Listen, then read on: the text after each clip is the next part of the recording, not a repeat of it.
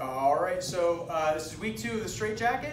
We're looking at double straight grips here, so it's a slight modification to what we did last week. So I'm gonna have Elliot here, I'm gonna jump onto his back, and let's just go uh, caddy corner here, 45 degrees. So um, this is gonna look almost identical to what we did last week. We're starting off in the back with our seatbelt, and we're gonna tip to this weak side.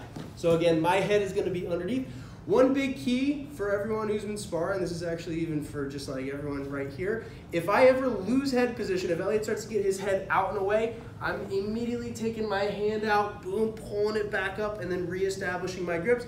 Obviously that's gonna be safer to do if I have a body triangle in place, but I, I gotta make sure that I keep my head secure underneath here at all times. So, little side note.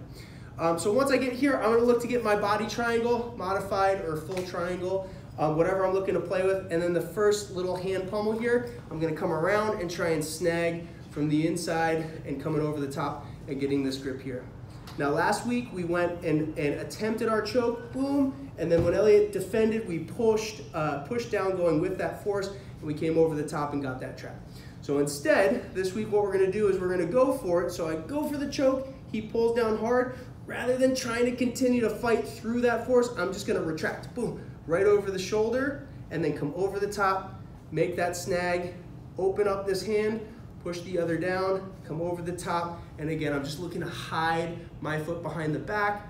I can double up right here for a moment just to get repositioned and, uh, and hold on tight, and then I'm working my rear naked choke, slipping it in, looking for that single arm finish from the start, pin my hand down, retract, and then if I go for my full rear naked choke, pull my hand out, slip it behind, make sure my hand gets to the bicep, and then I'm closing my fist behind the head, chin to the arms, retract to the rear naked choke. One more time, real quick. Seat belt hooks in, so that means we scored our points. We fall to the weak side. I work my body triangle, whichever one I'm looking for, modified or, or, or regular body triangle. I come to the inside, boom. I look to snag this grip here, and I go right for that choke into Elliot's grip. When he defends, I retract, boom, straight over the top, and then I look to make this snag here.